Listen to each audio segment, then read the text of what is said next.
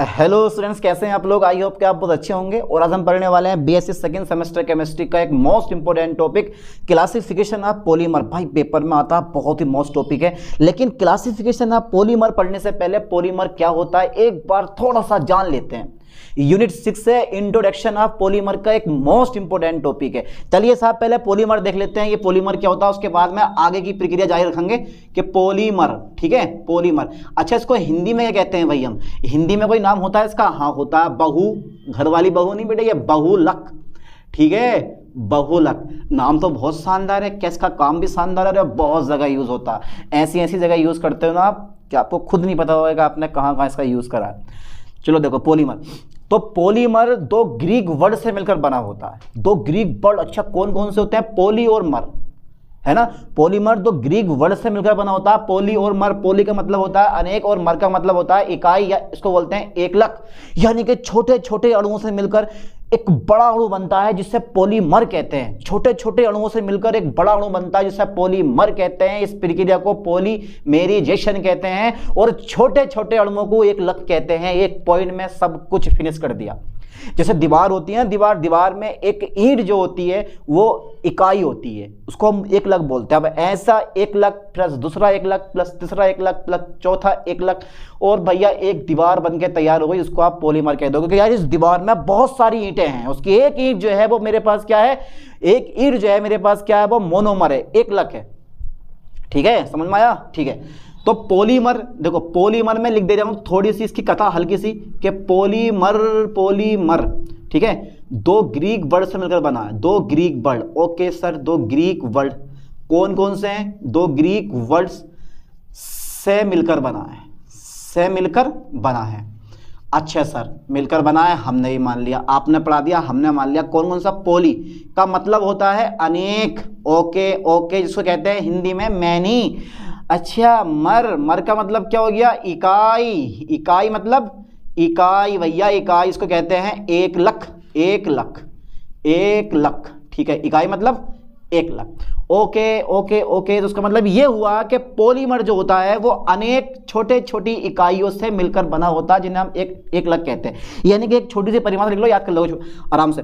छोटे छोटे अणुओं से मिलकर छोटे छोटे अणुओं से मिलकर छोटे छोटे अणुओं से मिलकर, ठीक है छोटे छोटे अणुओं से मिलकर या छोटे छोटे मोलिक्यूल से मिलकर एक लार्ज मोलिक्यूल बनता है, एक बड़ा अणु बनता है, एक बड़ा अणु बनता है, अणु बनता है। इसे हम क्या बोलते हैं बेटे? बड़ा अणु बनता है, जिसे पोलीमर कहते हैं। ओके ओके जिसे पोलीमर कहते हैं जिसे पोलीमर कहते हैं, ठीक है? इस प्रक्रिया को हम क्या बोलते हैं? पॉलीमेरिजेशन कहते हैं। याद कर लो, क्योंकि बहुत ज़्यादा यूज़ होने वाला है ये, ठीक है? इस प्रक्रिया को, इस प्रक्रिया को, इस प्रक्रिया को हम क्या बोलते हैं बेटे? इस प्रक्रिया को पोलीमेरिजेशन कहते हैं, ठीक है सर पोलीमेरिजेशन कहते हैं। अच्छा ठीक है। अच्छा तो सर ये जो एक लख हैं ये जो एक लख है हमारे, एक लख जो है, ये वाला जो एक लख हैगा, इसकी परिभाषा मैं कैसे निकालूँगा? इस एक लख को हम हिंदी में कहते हैं मोनोमर। क्या बोलते हैं बेटे? हिंदी में इसको हम मोनोमर कहते हैं। हो जाएगा ना यार मोनोमर, यानी कि इकाई। मोनोमर कहते हैं। तो छोटे छोटे अणु जो मिलकर छोटे छोटे अणु, अरे भैया छोटे छोटे अणु जो मिलकर एक बड़ा अणु बनाते हैं, एक लख कहलाते हैं। या बहुलक की इकाई को एक लख कहते हैं। दीवार की इकाई को, दीवार की एक ईंट को एक लग कहते हैं। अरे, बहुत सारी परिभाषा रहती हैं, पर घबराओ मत यार, बिल्कुल इजी टॉपिक है। नन्हे मुन्ने बच्चों वाला दो रुपए के इजी से भी इजी ठीक है? देखो, छोटे छोटे अणुओं को, छोटे छोटे छोटे अणु, छोटे छोटे अणु, छोटे छोटे अणु जो मिलकर जो मिलकर एक बड़ा अणु बनाते हैं। जो मिलकर क्या करते हैं बेटे? जो मिलकर एक बड़ा अणु बनाते हैं। जो मिलकर एक बड़ा अणु बनाते हैं, ठीक है? जो मिलकर एक बड़ा अणु बनाते हैं, मोनोमर कहलाते हैं। मोनोमर कहलाते हैं। ओके ओके, मोनोमर कहलाते हैं। जैसे कि अगर मैं पॉलीथीन बनाऊँ, दो प्रकार की होती है पॉलीथीन। हाथ खड़ा करें आप। नहीं यार, मत खड़ा करो। पॉलीथीन दो प्रकार की, एक हाई डेंसिटी पॉलीथीन होती है, ठीक है? और एक होती है लो डेंसिटी पॉलीथीन होती है। ठीक है? हाई डेंसिटी पॉली एथिलीन होती है एक और एक हाई डेंसिटी पोली एक लो डेंसिटी पोली एथिलीन होती है। यानी कि एच होता है एक और एक होता है तुम्हारे पास एल एच e और एल e, दोनों आपने देख रखी है पॉलिथीन लेकिन आपको पता नहीं है कौन सी एच डी पी है कौन सी एल डी पी आज सब कुछ इस लेक्चर में कवर कर लेंगे। देखिए जरा ध्यान से। ठीक है ये C H two double bond C H two ठीक है? ध्यान देना कितने अणु है मेरे पास? एन अणु है ठीक है? क्या है मेरे पास? एन अणु है यहाँ होगा पोलीमेरिजेशन क्या होगा बेटा यहाँ? पोलीमेरिजेशन तो मेरे पास क्या बन जाएगा? सी एच टू ठीक है? लाइन पे फोकस करना। C H two single bond C H two का होल एन बन जाएगा। तो क्या बन गया मेरे पास? होल एन बन गया। तो ये बन गया बेटा मेरे पास पॉलीथीन क्या बन गया ये? पॉलीथीन जो कि आप दुकान पे जाते हैं ना, और भैया आपने कोई भी सामान खरीदा तो आपको पॉलीथीन तो पक्का मिलेगा। हाथों में तो लाओगे नहीं। तो जो पॉलीथीन होती है ना, यानी कि जो ये पन्नी जो होती है, जिसमें आप थैली लाते हो, जैसे बोलते हो थैली, उस थैली को हम बोलते हैं पॉलीथीन, ठीक है? वो पॉलीथीन होता है। अब ये बनाया कैसे जाता है? ऐसे करके। अब इसमें जो ये चीज़ है ना, ये वाली, ये ध्यान देना बेटे, ये क्या है मेरे पास? ये है मोनोमर। ये क्या है? मोनोमर है ये। कितने अणु हैं? एन अणु हैं। ये मोनोमर है। अब मोनोमर को जब आपने हाई टेम्परेचर हाई प्रेशर पे आपने हीट करा होगा तो मेरे पास क्या बना होगा बेटे? पॉलीथीन बन गया और ये है मेरे पास पॉलीमर ये क्या है बेटे? पॉलीमर। ये होता है हमारा पॉलीमर। तो इस मोनोमर से क्या बना है मेरे पास? पॉलीमर। जब अनेक मोनोमर, लाइन पर फोकस करना, जब अनेक मोनोमर आपस में जुड़े होंगे तो पॉलीमर बना होगा। समझ में आया कुछ? अनेक मोनोमर आपस में जुड़े होंगे। अनेक मतलब एन मोनोमर आपस में जुड़े तो क्या बना दिया? पॉलीमर बना दिया। इसका मतलब है पॉलीमर में अनेक मोनोमर होते हैं। एक दीवार में अनेक ईंटें होती हैं। ठीक है? समझ में आया कुछ? बस सिंपल सा पॉइंट है। और एक खास बात बता दूँ अबे भैया कितने मोनोमर आपस में जुड़ कितने एक लक आपस में जुड़ के पो, पोलीमर बना रहे हैं। उसका मतलब है इसका अणुभार कोई हल्का फुल्का तो होता नहीं होगा। इसका अणुभार बहुत ज़्यादा होता है। तो मैं लिखवा दे रहा हूँ कि पोलीमर का जो अणुभार आता है ना बेटे लगभग अब इतने सारे पोलीमर हैं हर एक पोलीमर का अणुभार अलग अलग होता है। लेकिन मैं एक रेंज लिख दूँगा रेंज उस रेंज के अंतर्गत ही अणुभार होगा इसका। ठीक है? देखो जरा पोलीमर पॉलीमर का जो अणुभार होता है ना, पॉलीमर का अणुभार लगभग, पॉलीमर का अणुभार अणुभार बहुत ज़्यादा होते हैं, यानी कि उच्च होता है। पॉलीमर का अणुभार दस की घात तीन से दस की घात सात यू में आता है ये ठीक है? होता है। यू होता है, ओके? तो यह अणुभार क्या होता है? अति उच्च होता है, ठीक है? यानी कि पॉलीमर का अणुभार अति उच्च, लगभग दस की घात तीन से दस की घात सात यू होता है।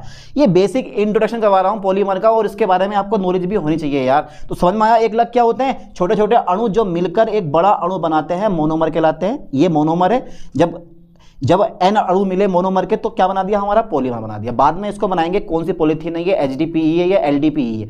बाद में देखेंगे अणुभार भी समझ गए आप लोग, क्योंकि भैया बहुत सारे मोनोमर मिलकर एक पॉलीमर बनाते हैं तो उसका अणुभार भी बहुत ज़्यादा होता होगा।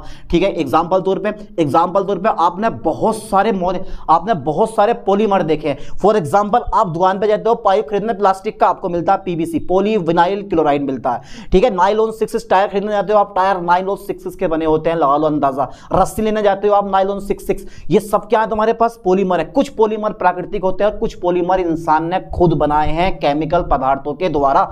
जैसे आप प्राकृतिक रबड़ ले लो, प्राकृतिक से मिलती है भाई हमें। आप स्टार्च ले लो, आप प्रोटीन ले लो, सब ये प्राकृतिक चीज़ें होती है। जो पेड़ पौधे जीव जंतु से मिलते हैं यार चलो आगे देखेंगे बहुत लंबी कहानी हो जाएगी।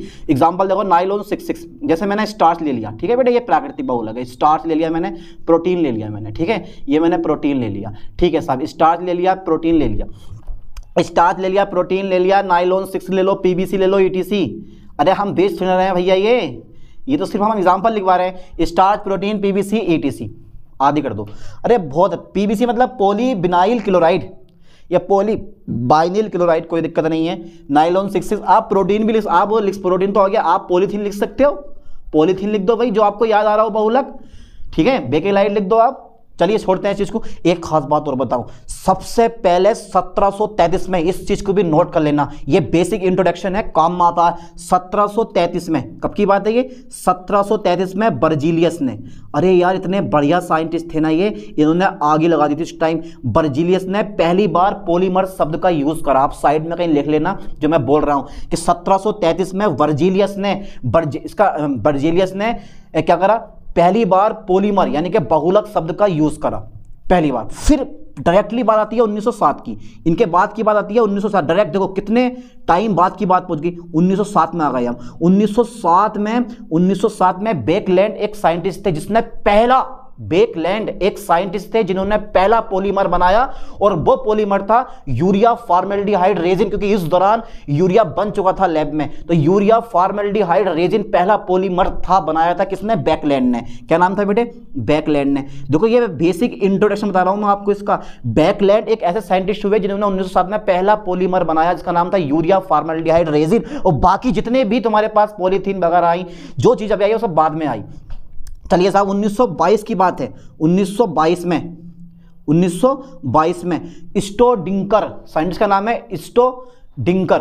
अब लगा लो स्टो डिंकर ने 1922 में पॉलीमर का सिद्धांत दिया और जिसके लिए स्टो डिंकर को, क्या नाम था इनका? स्टो डिंकर। अरे यार, साला नाम ही ऐसी विदेशी नाम है स्टो डिंगर। लिख देते थे। स्टो डिंगर, ठीक है? 1922 में स्टो डिंगर ने, ठीक है, किसने? स्टो डिंगर ने पॉलीमर का सिद्धांत का प्रतिपादन किया, जो कि हम आगे पढ़ेंगे, पॉलीमर के सिद्धांत क्या क्या होते हैं, ठीक है? सिद्धांत का प्रतिपादन किया, जिसके लिए इनको क्या मिला? नोबेल पुरस्कार मिला। क्या मिला बेटे? नोबेल पुरस्कार मिला। अब लगाइयो, नाम किसने दिया? बर्जीलियस ने। पॉलीमर शब्द का यूज़ करा। पहला पोलीमर किसने बनाया? बेकलैंड ने बनाया। और नोबेल पुरस्कार किसको मिला? 1922 में स्टोडिंगर को। ये तो नाइंसाफी है यार।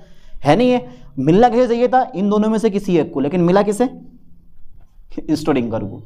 बहुत बड़ी समस्या हो गई यहाँ तो है भाई? तो ये बेसिक इंट्रोडक्शन था। किसका? बहुलक का और भी बहुत बड़ा है यार। बहुलक डीपली पढ़ोगे ना तो मज़ा आएगा कसम से। ठीक है? लेकिन बात मैटर यह है कि हम अपने डायरेक्टली पॉइंट पाते हैं। क्लासिफिकेशन ऑफ़ पॉलीमर ठीक है? तो यहाँ तक का स्क्रीन सोल लो, उसको बाद देखते हैं। जल्दी fast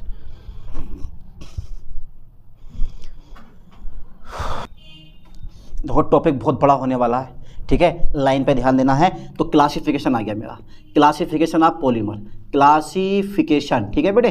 Classification classification of polymer classification of polymer polymer मर जा। क्लासिफिकेशन ऑफ़ पॉलीमर है ना? चलिए साहब, बहुलक का वर्गीकरण, चलो ऐसा हटा दो। इसको हिंदी में कहते हैं बहुलक का वर्गीकरण। अब सबसे पहले एक चार्ट बनवा दूँ मैं आपको। फिर करेंगे उसके बारे में डिस्कस एक एक करके, ठीक है? तो चार्ट बना लो। चार्ट कैसे बनेगा वो चेक करते हैं हम। तो पोलीमर सबसे पहले डालते हैं हेटिंग पोलीमर। लाइन पे फोर्स करना बेटे, ठीक से। और ये होता है चार प्रकार का। यानी कि चार प्रकार का होता है मेरे दोस्त, चार प्रकार। आप कौन कौन से चार प्रकार होते हैं, वो भी हम चेक करेंगे इस चीज़ को। लाइन सीधी है, टेढ़ी है। बिल्कुल टेढ़ी जा रही है एक धोरे से, ठीक है? चलिए साहब, अब लाइन मेरे ख्याल से सीधी हो सकती है। चलो जैसी भी है फ़िलहाल, ठीक है? चलिए साहब, देखते हैं। और और और और और और ये मेरे पास इधर को रह गया, ठीक है बेटे? जरा ध्यान देना लाइन पे।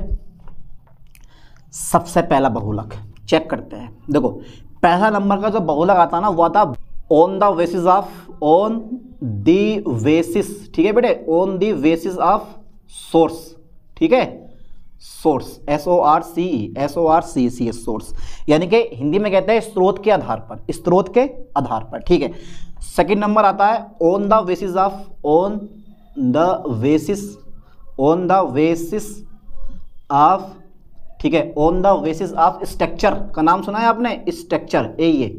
On the basis of structure यानी कि आप हिंदी में लिख लेना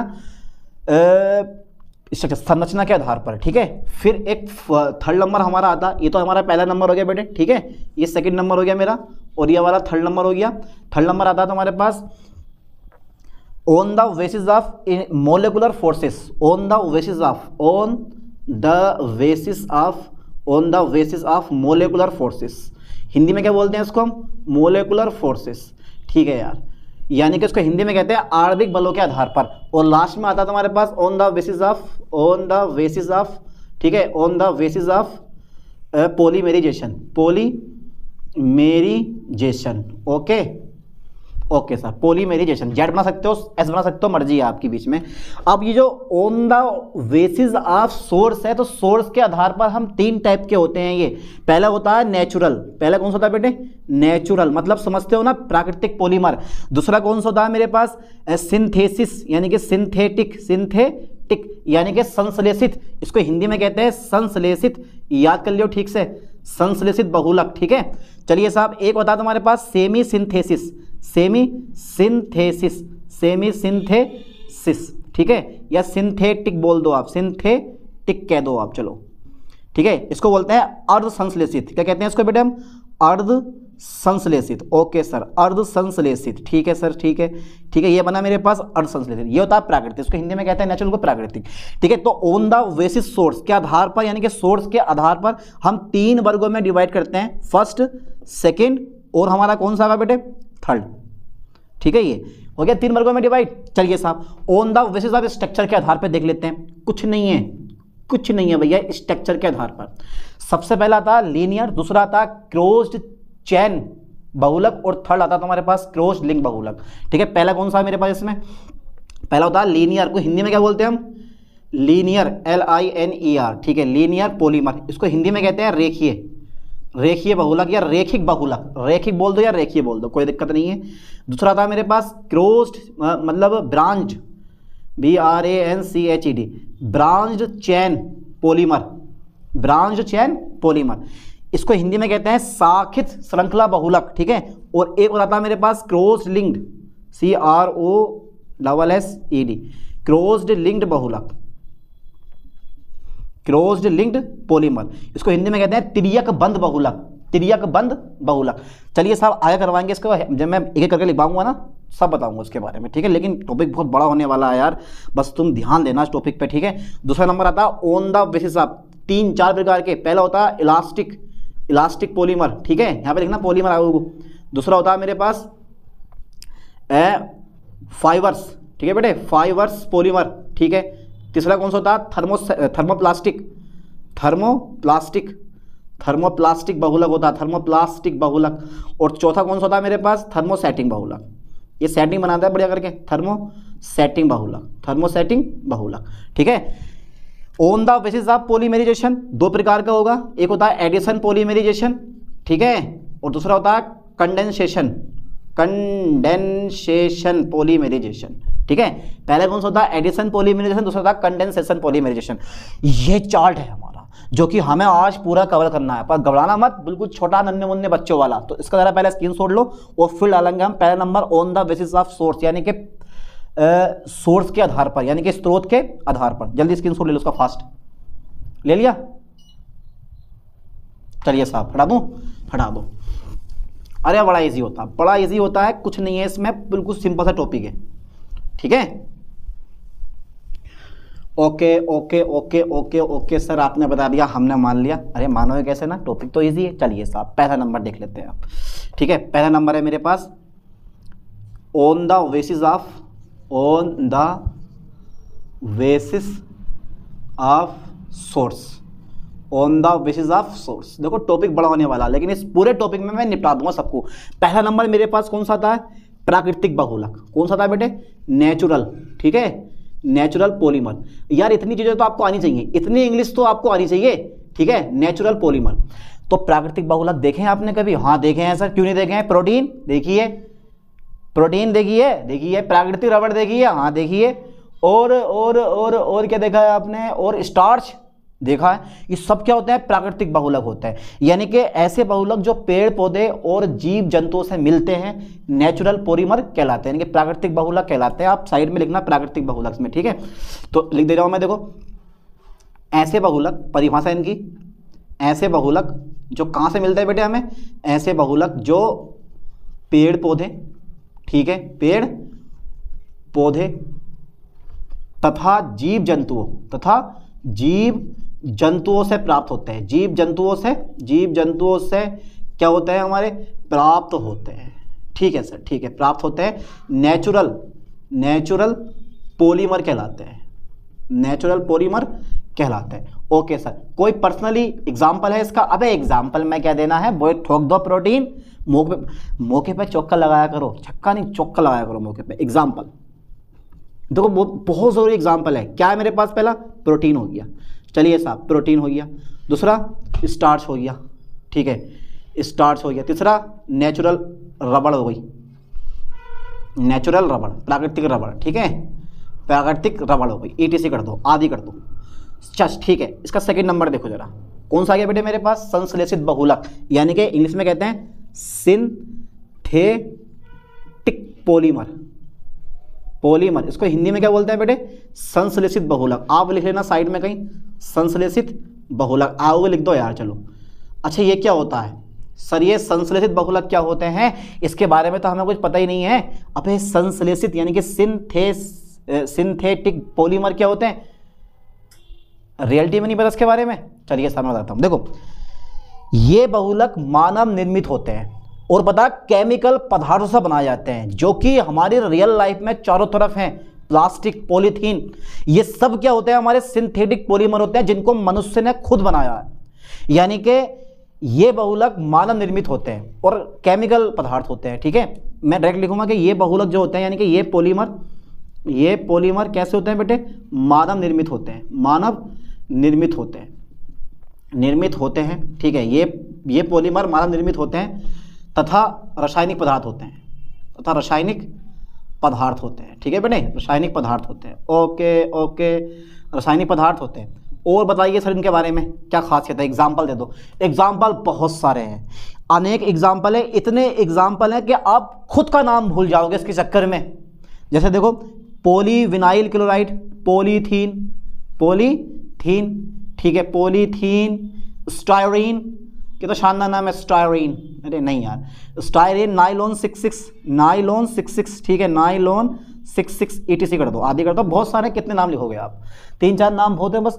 अच्छा ठीक है, पहला नेचुरल पॉलीमर हो गया, दूसरा सिंथेटिक पॉलीमर हो गया, तीसरा नंबर कौन सा आएगा मेरे पास? सेमी सिंथेटिक पॉलीमर यानी कि प्राकृतिक बहुलक पर प्राकृतिक बहुलक पर रासायनिक क्रिया द्वारा बनाए जाते हैं, जैसे वल्कनीकृत रबड़ रबड़ होती है, प्राकृतिक रबड़ पे रासायनिक क्रिया करवा के उसमें सल्फ़र डाल दो, ठोक दो सल्फ़र को। सल्फ़र क्या करेगा? क्रॉस बॉन्डिंग करेगा और रबड़ बड़ी शानदार वाली बनके तैयार हो जाएगी आपकी। चलिए साहब, देखो, थर्ड नंबर मेरे पास क्या आगा? थर्ड नंबर है मेरे पास सेमी यानी कि अर्ध संश्लेषित सेमी सिंथेटिक ठीक है semi सिंथे synthetic semi synthetic polymer ठीक है। चलिए साहब सेमी सिंथेटिक पॉलीमर क्या बात है, सर? क्या परिभाषा लिखोगे सर, इसकी आप? तो ये बहुलक ये बहुलक मतलब ये पॉलीमर प्राकृतिक प्राकृतिक बहुलक पर, प्राकृतिक प्राकृतिक बहुलक पर, ये बहुलक प्राकृतिक बहुलक पर, प्राकृतिक बहुलक पर रासायनिक क्रिया द्वारा बनाए जाते हैं। ठीक है, रासायनिक क्रिया द्वारा बनाए जाते हैं, रासायनिक क्रिया द्वारा बनाए जाते हैं। ठीक है, सर, बनाए जाते हैं। ओके बना के दिखाओ आज। एग्ज़ाम्पल अरे, बनाएँगे बनाएँगे बाद में। डर क्यों रहे हो? पहले एग्ज़ाम्पल देखो करके इसका क्या एग्ज़ाम्पल होगा? बताया जरा मैंने अभी क्या क्या एग्ज़ाम्पल था मेरे पास? वलकनी कृत रबड़। वलकनी कृत रबड़, ठीक है? यानी कि प्राकृतिक रबड़ में सल्फ़र मिलाने की प्रक्रिया को हम वलकनीकृत रबड़ कहते हैं, ठीक है? या वलकनीकरण कहते हैं। अरे, बहुत ईजी कुछ ना। है हो गया? चलिए साहब, तीन भाग हो गए। अब मेरे पास सेकंड नंबर आता है on the basis of on the basis of on the basis of क्या चीज़? ऑन द बेसिस ऑफ़ हाँ क्या चीज़ है? बताओ जरा मुझे। ऑन द बेसिस ऑफ़ हाँ sir on the basis of structure structure structure S T R U C T U R E on the basis of structure यानी कि सोर्स यानी कि संरचना के आधार पर। हिंदी में लिखो संरचना के आधार पर, संरचना के आधार पर, ठीक है? संरचना के आधार पर। ओके सर ओके सर, संरचना के आधार पर। देखो टॉपिक बड़ा होने वाला, लेकिन हर एक टॉपिक हम क्लियर करते चलेंगे। जो नोट्स आपको चाहिए ना, वो है ये। पहला नंबर है भैया, अरे पहला नंबर क्या होगा? लीनियर यानी कि रेखिक linear okay sir linear polymer linear polymer जिसको हिंदी में कहते हैं हम, रेखिक या रेखीय बहुलक, रेखिक बहुलक। देखो, कुछ नहीं है। इसकी परिभाषा आप खुद से लिखना अपना आप। चित्र बनेगा इसमें बढ़िया शानदार वाला। कैसे? देखो, ये जो पोलीमर होते हैं ना मेरे पास, ये, ए, ये। सांप बना दिया, नागिन बना दिया सर नागिन डांस करवा दिया। तो पॉलीमर क्या होते हैं? ए, यहाँ। ये सब क्या होता है बेटे? ये सब क्या होता है मेरे पास? पॉलीमर होते हैं, ठीक है?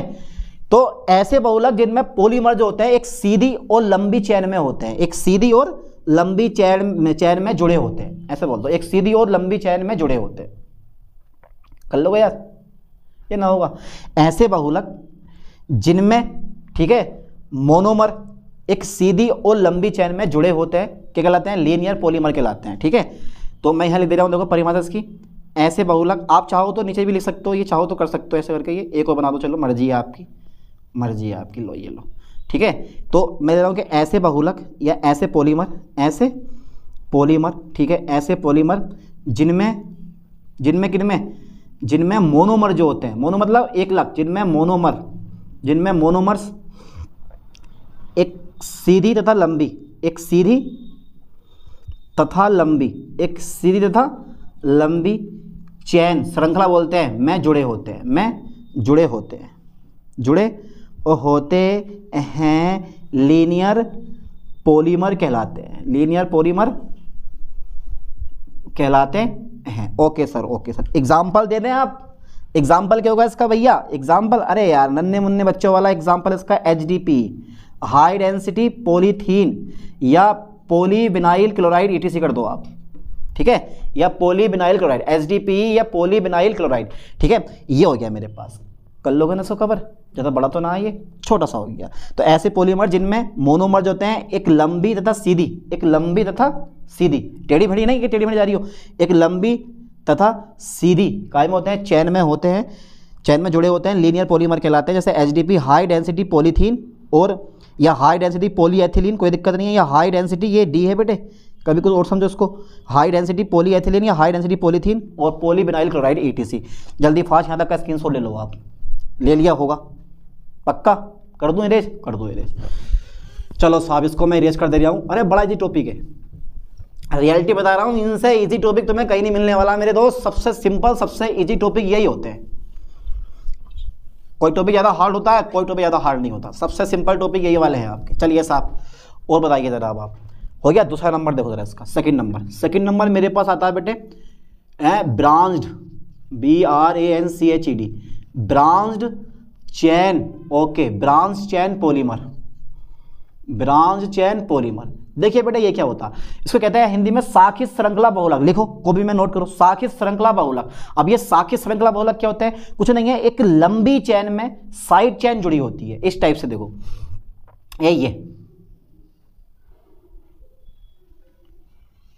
ये लंबी चैन है मेरे पास।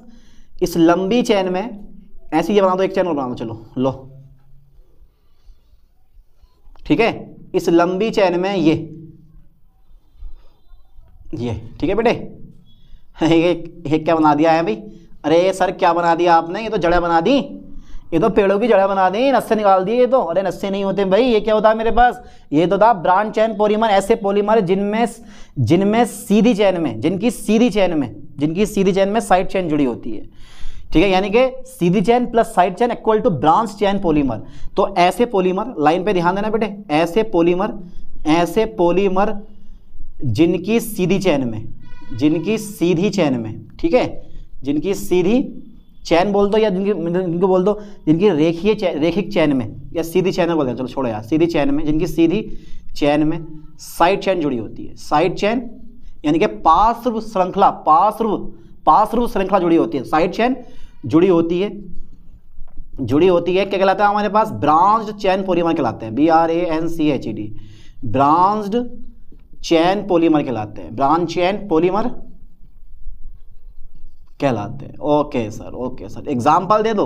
अबे एग्ज़ाम्पल क्या है? वही अपना लो डेंसिटी पोली एथिलीन ये याद भी हो जाएँगे बड़े सारे से L D P L D P low density polyethylene okay sir third number जरा बता दें आप हमें। थर्ड नंबर कौन सा गया? क्रोज्ड अरे सर क्रोज्ड चैन क्रोज चैन है चैन है ये लिंक्ड है crossed linked close link polymer okay sir okay sir close link polymer ठीक है, हो गया बस पॉलीमर अब देखो ये होता क्या रियलिटी में?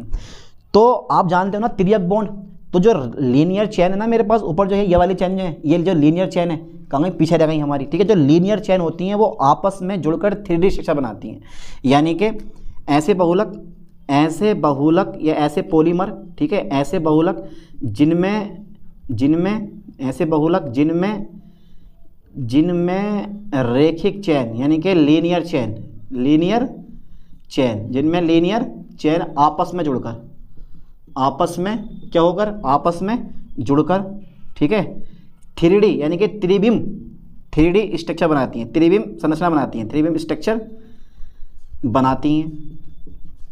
ठीक है? Crossed C R O double S E D closed chain polymer कहलाते हैं। क्लोज चैन पोलीमर कहलाते हैं।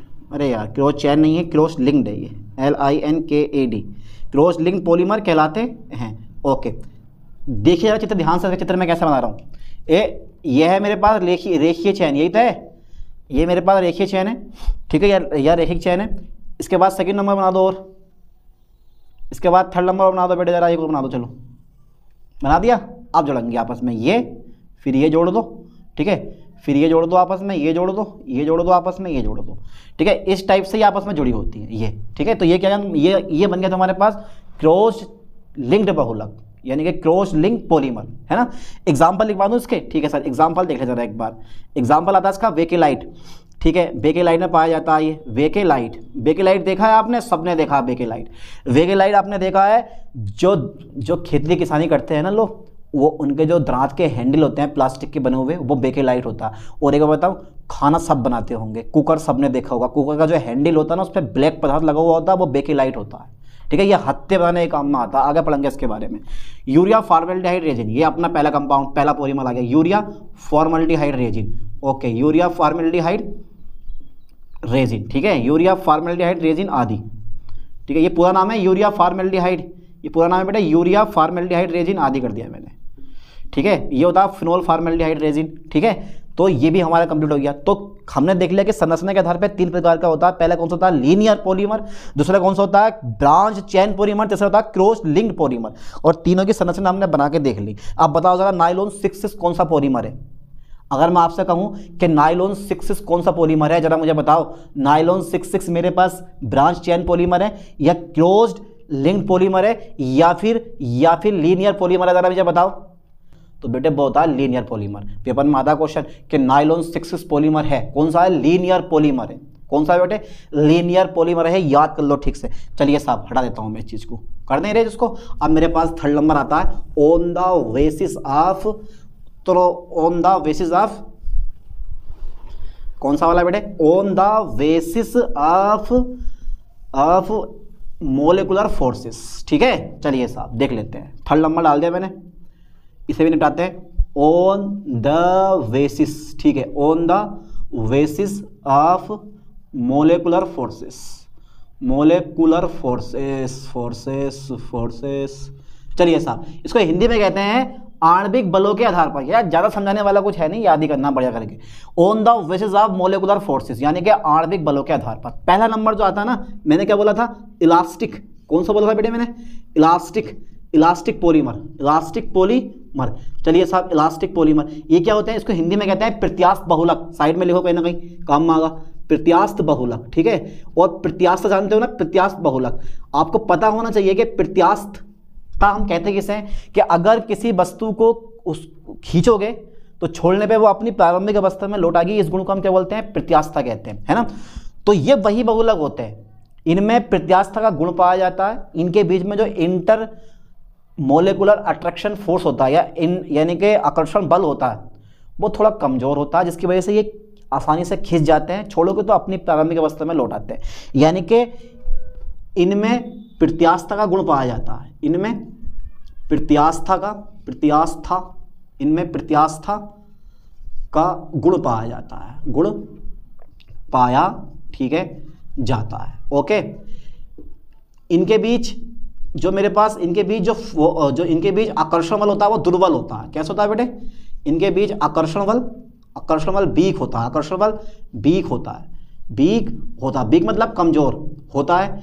जिसके कारण जिसके कारण इन्हें आसानी से, इन्हें आसानी से खींचा जा सकता है, खींचा जा सकता है। एग्ज़ाम्पल आप खुद बताओ। आपके दिमाग में इसका एग्ज़ाम्पल आ गया होगा कि ऐसे इसमें प्रत्यास्था गुण पाया जाता है, इनके बीच आकर्षण बल बीक होता है, जिन, जिसके कारण इन्हें आसानी से खींचा जा सकता है। रबड़ का नाम सुना है? हाँ यार, सुना ब्यूना एस, ब्यूना एन, प्राकृतिक रबड़। एक तो मेरे पास पहला कौन सा बेटे? प्राकृतिक रबड़ हो गई। ठीक है, ये नेचुरल है। प्राकृतिक रबड़, यानी कि नेचुरल रबड़। ठीक है, दूसरा मेरे पास क्या होगा? Buena S. ब्यू ब्यू, ठीक है ठीक है। ब्यूना एन हो गया मेरे पास एक। एक मेरे पास हो गया ब्यूना ब्यूना एस। ठीक है ई टी सी कर दो। तो ये सब क्या है? ये सब तुम्हारे पास इलास्टिक पॉलीमर होते हैं जिनको खींचोगे और छोड़ दोगे तो अपनी प्रारंभिक अवस्था में लौटाएगा। आप रबड़ को चेक कर लो। ठीक है? तो रबड़ में क्या होता है? प्रत्यास्था गुण पाया जाता मुलायम होते हैं ये, बहुत ज़्यादा मुलायम बहुलक होते हैं। ये हार्ड नहीं होता, कभी सोचो कि हार्ड होते हैं, मुलायम होते हैं ये। चलिए साहब सेकंड नंबर वाला और पढ़ लेते हैं एक चीज़। फाइबर्स फाइबर्स पोलीमर ठीक है बेटे?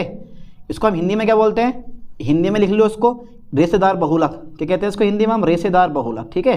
रेसेदार बहुलक, ये क्या होते हैं? जैसे लाइनोल सिक्स सिक्स होता है ना? नाइलॉन सिक्स सिक्स एक रेसेदार बहुलक होता है। यानी कि लीनियर पॉलीमर तो है, पर उसमें रेसे भी होते हैं। काट के देखना, कभी नाइलॉन सिक्स सिक्स को उसके अंदर रेसे मिलेंगे आपको। ठीक है? तो इनकी संरचना धागे के समान होती है। इनकी संरचना कैसी होती है बेटे? इनकी संरचना धागे के समान होती है। ओके ओके, धागे के समान होती है। लेकिन जो इनके बीच में आकर्षण बल होता है, जो मोनोमर होते हैं ना, उनके बीच में जो आकर्षण बल होता है, वो स्ट्रॉन्ग होता है।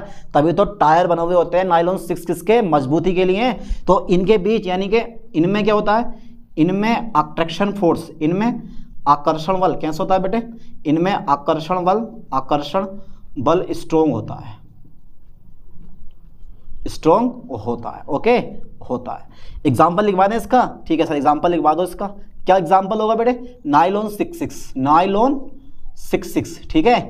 नाइलोन सिक्स सिक्स इसका एग्ज़ाम्पल हो गया. थर्ड नंबर और आ गया मेरे पास. थर्ड नंबर एक और आ गया मेरे दोस्त. थर्ड नंबर क्या होगा? थर्मोसेटिंग बहुलक. थर्मो नहीं, पहले करेंगे थर्मोप्लास्टिक थर्मोप्लास्टिक पॉलीमर इसको हिंदी में कहते हैं लिख लो ज़रा हिंदी में, इसको भी लिख लो बेटे ज़रा. इसको बोलते हैं ताप सुघट्टे बहुलक. ताप सुघट्टे सुघट्टे बहुलक, ठीक है? ताप सुघट्टे बहुलक, ओके सर, ताप सुघट्टे बहुलक, कहते हैं इसको हिंदी में, ठीक है? अब ये क्या होते हैं? देखो, आपने पॉलीथीन जलाई होगी तो पॉलीथीन को पहले गर्म करो तो वो मुलायम हो जाएगी, मुलायम होने पे क्या हो जाएगी? फिर ठंडा करो तो कठोर हो जाएगी। ऐसे बहुलक हमारे क्या कहलाते हैं? थर्मोप्लास्टिक बहुलक कहलाते हैं, ठीक है? गर्म करने पर ये मुलायम करके आप किसी भी रूप में ढाल सकते हो, ये क्वालिटी होती है इनके अंदर, ठीक है? यानी कि ऐसे बहुलक, कैसे बेटे? ऐसे बहुलक, ठीक है? ऐसे बहुलक जिन्हें गर्म करने पर, जिन्हें हीट करने पर, ठीक है? जिन्हें हीट करने पर, जिन्हें हीट करने पर अच्छा सर जिन्हें हीट करने पर, जिन्हें हीट करने पर मुलायम हो जाते हैं सॉफ्ट मुलायम हो जाते हैं, ठीक है? मुलायम हो जाते हैं, तथा ठंडा करने पर कठोर हो जाते हैं। ठंडा करने पर कठोर हो जाते हैं, ठीक है? कठोर हो जाते हैं। आप ले सकते हो। ये देखो समझाने वाला पॉइंट नहीं है इसमें। इसमें यार समझाने वाला पॉइंट नहीं है, इसमें याद ही करना सिंपल सा पॉइंट है। आप कोई भी पॉलीथीन उठा के देख लो, उसको गर्म करो, गर्म करने में पहले वो मुलायम पड़ेगी, नरम पड़ेगी, या जब जब वो मुलायम हो जाएगी सॉफ्ट हो जाएगी तो फिर जब उसको ठंडा होगा वो, गर्म होने के बाद जब वो ठंडा होगी, पिघलने के बाद जब वो ठंडा हो जाएगी ना तो फिर से कठोर बन जाएगी आपके। तो छोटे छोटे बच्चे का भी तुमने देखा होगा कि पॉलीथीन बहुत सारी पॉलीथीन इकट्ठा करी और उन्होंने भैया आग लगाई और एक गैस बना ली। है ना? ये काम हमने भी करे पहले कभी यार। तो ऐसे बहुलक जिन्हें हीट करने पर मुलायम हो जाते हैं तथा ठंडा करने पर कठोर हो जाते हैं थर्मोप्लास्टिक बहुलक कहलाते हैं, ठीक है? थर्मोप्लास्टिक ठीक है सर? थर्मोप्लास्टिक पॉलीमर कहलाते हैं। थर्मोप्लास्टिक पॉलीमर कहलाते हैं। Okay sir okay sir. Thermoplastic polymer कहलाते हैं ना? थर्मोप्लास्टिक पॉलीमर कहलाते हैं। ओके सर ओके अब आगे कुछ बताओ सर। ऐसा बताओ जो मज़ा जाए, हैं? एग्ज़ाम्पल एग्ज़ाम्पल में देखो बस ज़्यादा मैं कुछ लिखवा दे रहा हूँ, इसकी प्रॉपर्टीज़ में नहीं लिखवा रहा हूँ, इसकी प्रॉपर्टीज़ में नहीं लिखवा रहा हूँ, ठीक है? एग्ज़ाम्पल मैं डायरेक्ट दे रहा हूँ, जैसे पोलीथीन हमारा मेनली है। मेरे पास क्या बेटे? पोलीथीन हो गया इसका पॉलीवाइनल क्लोराइड हो गया सी आदि कर दिया मैंने इसको, ठीक है? पहले गर्म करोगे, नरम पड़ जाएगा, फिर ठंडा करोगे, कठोर हो जाएगा। ये सबके साथ मेरे पास कैसे होते हैं? ताप सुघट्टे बहुलक होते हैं। चलिए साहब, एक फोर्थ नंबर आ गया थर्मोसेटिंग और माई गोड सेटिंग आ गई इसमें। चलिए साहब थर्मोसेटिंग पॉलीमर देखो इसको हम इसको हम कभी कभी थर्मोसेट भी कह देते हैं। थर्मोसेट समझते हो ना? थर्मोसेट देखो, दिमाग लगाओ। थर्मो मतलब गर्मी हो गई हमारी, या ताप हो गया। थर्मो का मतलब उष्मा से ऊर्जा से होता। थर्मो मतलब उष्मा। जब आप इनको हीट करोगे ना तो सेट हो जाएँगे ये। हीट करने पर सेट मतलब कठोर हो जाते हैं। और कठोर होने के बाद, ठीक है? इनको आप किसी भी रूप में नहीं डाल सकते हो। एक बार अगर इनको पिघला दिया आपने तो फिर किसी रूप में नहीं डाल सकते हो। यानी कि ऐसे बहुलक जिनको गर्म करने पर कठोर हो जाते हैं और आप किसी भी रूप में नहीं ढाल सकते हो। जबकि इनको आप किसी भी रूप में ढाल सकते हो। आप एक गेंद का आकार दे सकते हो, आप किसी भी टाइप का आकार दे सकते हो, लेकिन इसको गर्म करने के बाद कठोर हो जाते हैं। कठोर होने के बाद आप इनको किसी भी रूप में नहीं ढाल सकते हो। वो सबके सब थर्मोसेटिंग बहुलक होते हैं। यानी कि ऐसे बहुलक, ऐसे पोलीमर ऐसे पोलीमर जिन्हें हीट करने पर, ठीक है? जिन्हें हीट करने पर कठोर हो जाते हैं, कठोर हो जाते हैं, तथा किसी दूसरे किसी दूसरे रूप में परिवर्तित नहीं जा सकता, तथा तथा तथा किसी दूसरे रूप में परिवर्तित नहीं किया जा सकता है। थर्मो सेटिंग पॉलीमर कहलाते हैं। पॉलीमर कहलाते हैं। जैसे बेकेलाइट एग्ज़ाम्पल लिख दे रहा हूँ मैं जैसे बेकेलाइट जैसे बेटे? बेके लाइट, ठीक है? बेके लाइट मतलब हैंडल। आप जब जलाओगे ना उसको, जलाने के बाद क्या होगा जलाने पे गर्म तो हो जाएँगे, वो गर्म होने के बाद वो बहुत हार्ड हो जाएँगे, और हार्ड होने के बाद वो इस तरह से बिखर जाएँगे जैसे चूरा बिखरिया हो। बिल्कुल, खत्म हो जाते हैं। उनको आप पिघला के किसी दूसरे रूप में ला नहीं सकते हो, ठीक है? यानी कि पिघलाने के बाद थर्मोसेटिंग बहुलक ऐसे बहुलक होते हैं जिनको पिघलाने के बाद किसी दूसरे रूप में नहीं लाया जा सकता। आप डायरेक्ट भी ये भी लिख सकते हो, ठीक है? वरना तो मैंने ये लिखा कि गर्म करोगे तो कठोर हो जाएँगे और फिर आप उनको किसी भी रूप में परिवर्तित नहीं कर सकते हो, वो थर्मोसेटिंग बहुलक होते हैं। तभी तो बोला था थर्मोसेट एक बार सेट हो गए तो हो गए। अगर गर्म कर दिया तो खत्म हो जाएँगे, खराब हो जाएँगे ये हमारे, ठीक है? चलो साहब आगे बढ़ाते हैं कहानी। जैसे बेके लाइट हो गया हमारा, याद कर लो बेके लाइट करते हैं एक नंबर हो गया हमारा। अब एक नंबर कौन सा रह गया भाई? वो और चेक कर लेते हैं हम। अच्छा सर, एक नंबर और रह गया? वाह, क्या बात है। कौन सा नंबर है भाई हमारा वो? On the basis of polymerization वैसे ये रूप है नहीं, लेकिन फिर भी इन लोगों ने दे दिया उठा के ये।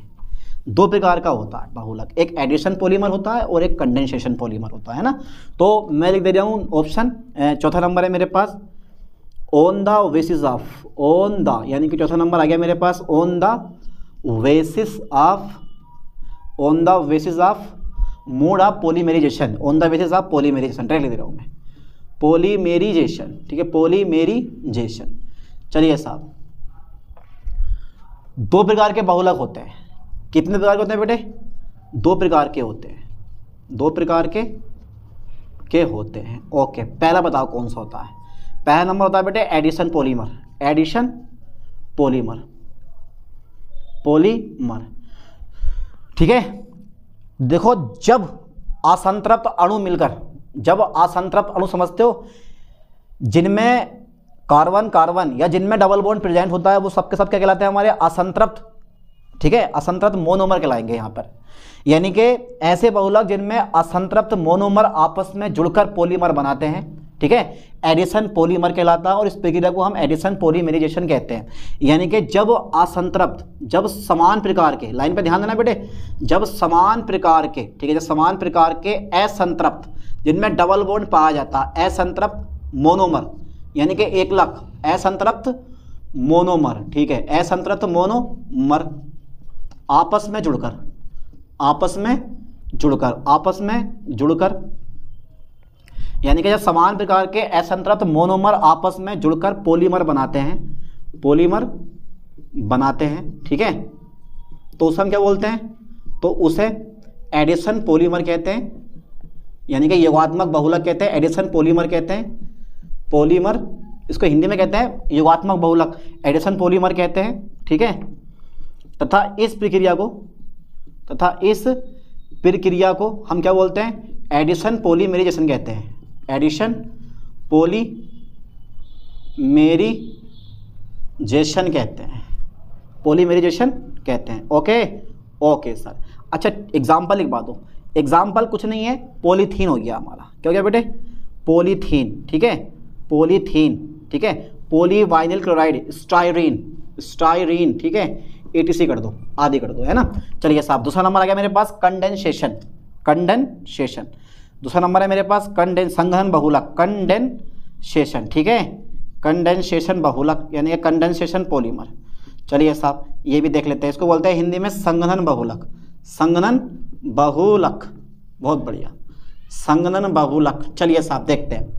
तो जो ये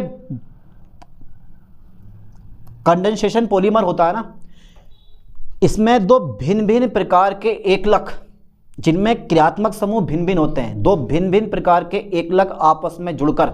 ध्यान देना, दो भिन्न भिन्न क्रियात्मक समूह वाले एकलक ऐसे बोल सकते हो, ठीक है?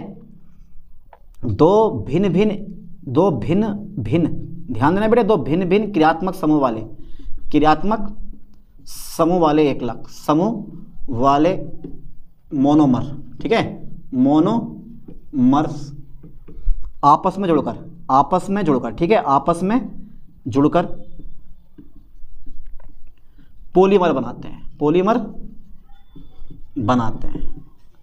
ठीक है? इसमें तो होता है समान प्रकार के असंतृप्त मोनोमर होते हैं। और इसमें क्या होता है बेटे? दो भिन्न भिन्न क्रियात्मक समूह वाले मोनोमर आपस में जुड़कर पॉलीमर बनाते हैं। तो उसे हम क्या बोलते हैं? तो उसे तो उसे हम क्या बोलते हैं? तो उसे कंडेंसेशन पॉलीमर कहते हैं। कंडेंसेशन पॉलीमर कहते हैं। कंडेंसेशन पॉलीमर कहते हैं, पॉलीमर्स कहते हैं या पॉलीमर कहते हैं, तथा इस घटना को या इस प्रक्रिया को तथा इस प्रक्रिया का क्या नाम दूँ मैं? इस प्रक्रिया को कंडेंसेशन ठीक है, लाइन पे ध्यान देना बेटे कंडेंसेशन पॉलीमेरिजेशन कहते हैं पॉलीमेरिजेशन कहते हैं, ठीक है एग्ज़ाम्पल लिखवा दो nylon six six nylon six six ये पढ़ेंगे बाद में अभी, है ना? नाइलॉन सिक्स सिक्स क्या होता है? ठीक है? तो नाइलॉन सिक्स सिक्स क्या होता है? बाद में पढ़ेंगे, फ़िलहाल इतना है कि ये कंडेंसेशन पॉलीमर होता है, ठीक है? क्या होता है? दो समान, यानी कि दो भिन्न भिन्न, दो भिन्न भिन्न क्रियात्मक समूह वाले मोनोमर, यानी कि एक लग आपस में जुड़कर क्या बनाते हैं? एक पॉलीमर बनाते हैं, जिसे हम क्या बोलते हैं? जिसे हम क्या बोलते हैं? कंडेंसेशन पॉलीमर कहते हैं, तथा इस प्रक्रिया को हम क्या बोलते हैं? कंडेंसेशन पॉलीमराइजेशन कहते हैं। तो कितना इजी क्लासिफिकेशन है पॉलीमर का? यही आपके नोट्स है। और मैंने ये पूरे के पूरे नोट्स लिखवा दिए। अब यार इसमें ज़्यादा समझाने लायक है नहीं। आपको याद करना है एग्ज़ाम्पल याद करने हैं और पेपर में लिख के आना बढ़िया करके, ठीक है? अब ऐसी एक नए टॉपिक के साथ मिलते हैं नेक्स्ट वीडियो में। थैंक्स